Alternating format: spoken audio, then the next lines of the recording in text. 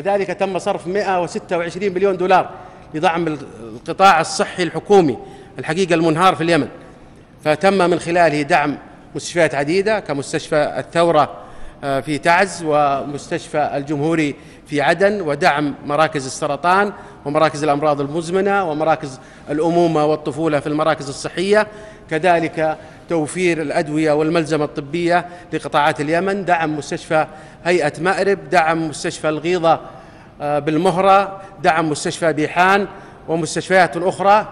ويتم أيضا دعم مستشفى داخل حجة وهو مستشفى حجة وكذلك مستشفى السلام بصعدة. إضافة إلى دعم بعض المراكز آه، الأخرى وتوفير احتياجات الغسيل الكلوي والملزمة الطبية بشكل مستمر ووفق عقود متتالية يقوم عليها المركز.